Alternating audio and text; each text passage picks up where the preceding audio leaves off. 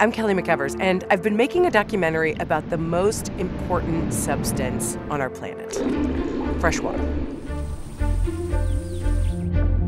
Today, water is on the move.